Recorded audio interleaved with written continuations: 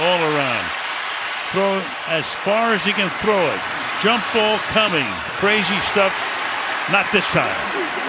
Yeah. I just don't think he ever really located the football. By the time he looks up, look at that. Ooh. If he